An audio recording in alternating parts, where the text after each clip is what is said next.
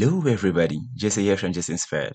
You're welcome to the 10th video of my shell series guys. And this video promises to be really rewarding because arguably we'll be adding the last piece of the puzzle to seeing how the shell program actually works. So I'm really excited to show you guys. So without further ado, let's just get started. Now, in our previous video, we were introduced to the concept of command line arguments, and we saw the prototype of the main function that helps us process the argument counts and the argument vector. But this right here you're seeing is a standard implementation in C. But for the purpose of this tutorial and for the purpose of making our own shell program, we will need to implement our own version of the command line argument. So I'm just going to wipe this off and change it to void and we'd still be good. Now, in order to achieve this, I've included the necessary header files we'll be using. So I included stdio.h because we'll be using printf and getline and um, stdlib.h because we'll be using malloc and free for dynamic memory, um, string.h because we'll be using string copy, and uni standard.h because we'll be using execv. Even before we write any code, I just like us to technically understand how a shell program works. Okay, so right now we are delving into some technical stuff. Okay, so I'm really excited. So a shell environment is called an REPL. So R stands for read, E stands for evaluate, P stands for print, and L stands for loop. So basically, every shell environment will provide you with these four steps in this order. Read, evaluate, print, loop. So currently, I have Z shell running in this terminal. And right now, the first thing you can see is this prompt to read in input. So in a shell program, the first thing you want to think of is the ability to read in input, isn't it? So let's go ahead and pass in this statement expression 2 plus 2 and I'm going to hit enter. Now, once I hit enter, what happened was that this expression right here was evaluated under the hood by this Z shell process. So that's the second step, evaluate. Now, once it got evaluated, the result of the evaluation was printed out, which is 4. That's the third step, print. Now, once it was printed out, you realize that we looped back to this prompt to receive input again. So that's the fourth step, loop. So this is basically how every shell program works. I hope this made sense. So to get started, I'm going to be defining some variables which we'll be using. And just in case you don't understand how any of them works right now, don't worry, as we progress, I'm going to be explaining them, okay? So first, I'm going to be creating a variable called cmd, which will be a pointer, and this would hold the command which I read from my standard inputs. I'm also going to be making a copy of cmd, and I'll explain why in a moment. I'm also going to initialize this to null. Next, I'm going to be creating a variable called token, which would hold the tokens returned by stringtoken. Also, I think I have an error here, so let's go ahead and wipe this off. So everything looks good for now. Next, I'm going to be creating my delimiter. I'm going to call this delim. And check this out, guys. I'm using not just a white space this time around for my delimiter. I'm using a white space and a new line. And I'll be explaining why I'm doing this you know, as we progress. But for now, please just take note that my delimiter is a white space and a new line. Next, let's go ahead and create this variable n, which will hold the size of the buffer. Next, let's go ahead and initialize our own argc. So let's initialize it to zero. I'm also going to be creating this counter variable right now called i. I'm also going to initialize it to zero. Having done this, let's create our own argv. Okay, so as you can see right here, I'm using a double pointer. If you remember the former prototype of the main function that we did, we saw that argv is actually a null terminated array of strings. So you could use a double pointer like this to implement it or a pointer to character array. But I'm using this implementation because um, it's much more flexible in my own opinion to work with, okay? Especially working with dynamic memory. Having done this, the first thing you want to do while creating your shell program, if you remember, is to read in. So let's go ahead right now and implement that. So to read in inputs, we're going to be using getline. And um, from our previous videos, we just assumed that getline is always successful, but there's a possibility that getline could fail and it returns negative one on failure. Um, there's also something else that makes getline return negative one, which is called the end of file condition, which is beyond the scope of this tutorial. But for now, I'm just going to be doing that field check right now on getline. So I'm going to be doing if getline and cmd and n stdin, the standard inputs, equals negative 1 so if it fails uh, we just want to return negative 1 that's all. Okay so this looks good for now. So right now we want to evaluate our argc and technically speaking argc just has to do with the number of tokens you can retrieve from your string. So right now when you're reading your command from your standard input remember it's just a string but when you call string token on that string you're able to tokenize that string into different tokens. And the number of tokens you can retrieve from that string like i said earlier evaluates to your argc simple enough isn't it? Well the issue about string token as we discussed earlier is that calling string token on a string alters the original string beyond repair. So um I would need to make a copy of the original string, okay, so that once I'm done evaluating the value of argc, I can still have the original string to do whatsoever I want to do with it. So that's what necessitated the creation of this variable cmd copy. And to achieve this, I'm going to be using the stringzo function. I know at the beginning of this tutorial, I talked about using string copy, but I kind of prefer stringzo because I don't have to bother so much about malloc, right? So let's go ahead right now and call the stringzo function stringzo and let's just copy our command inside um, command copy. So that looks good for now. So right now we are actually ready to evaluate our argc but i told you guys that um i was going to explain to you why we're using a new line character as part of our characters for our delimiter. Now we are doing that because whenever you read in text you read a line from a string it automatically appends a new line character to the end of that line okay? So a simple hello world text as you can see on your screen right now evaluates to this when you read it.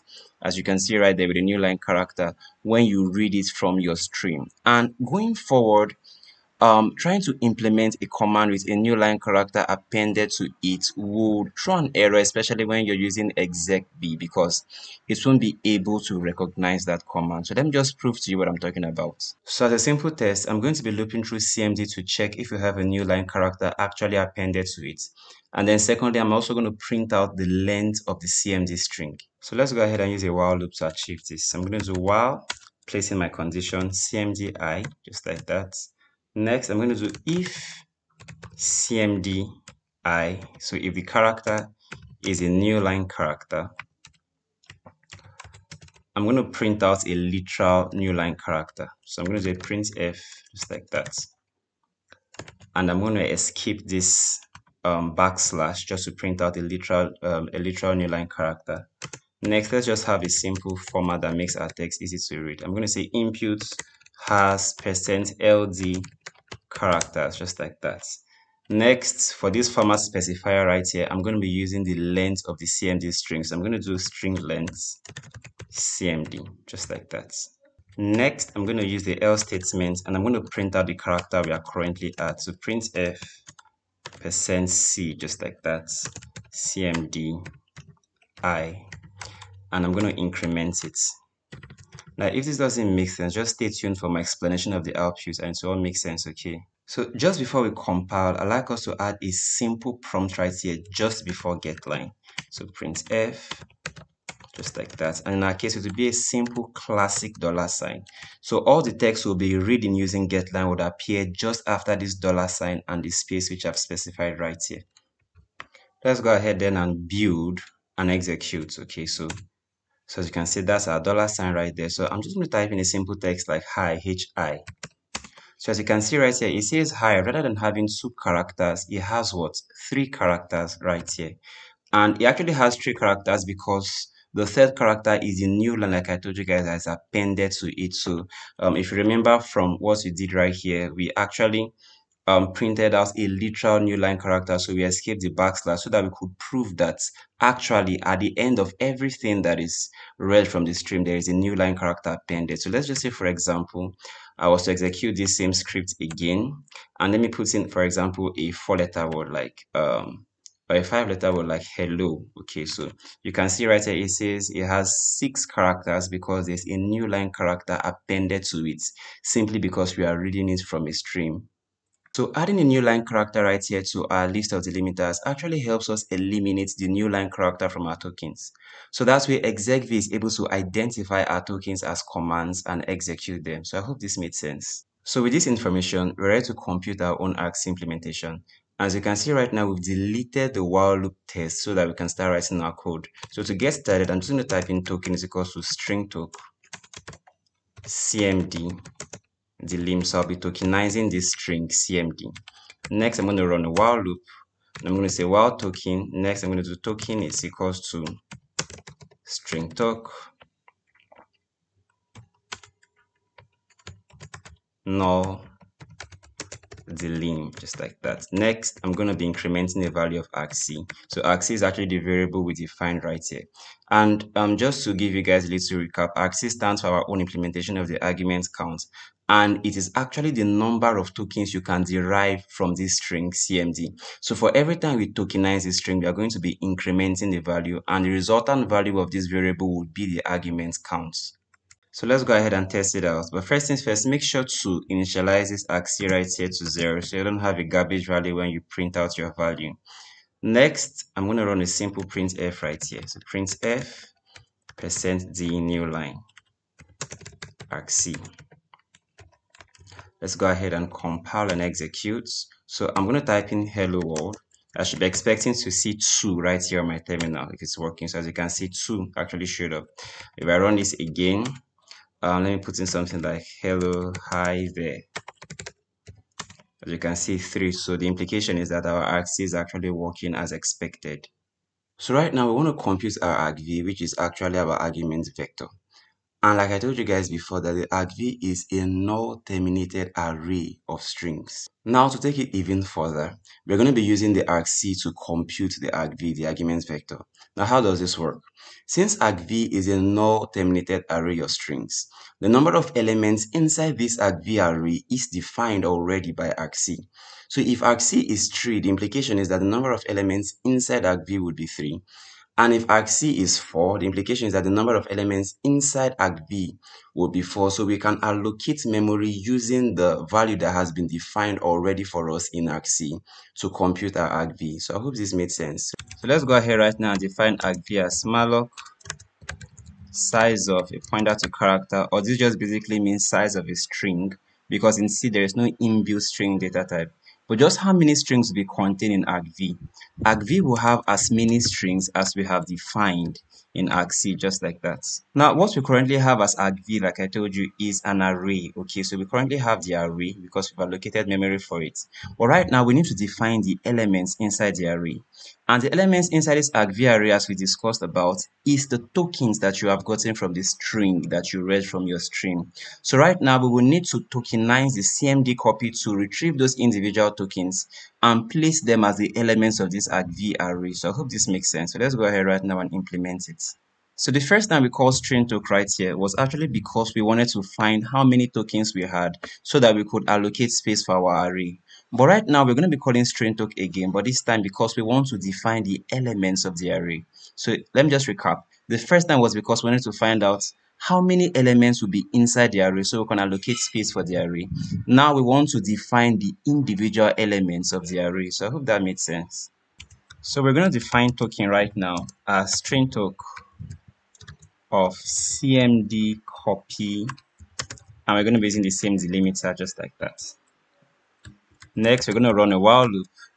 I'm going to say while token, and our conditions would be first things first, argv i will be equals to token. So what that means is that we are going to be um, defining the element at this index of argv to the value we have on that current token.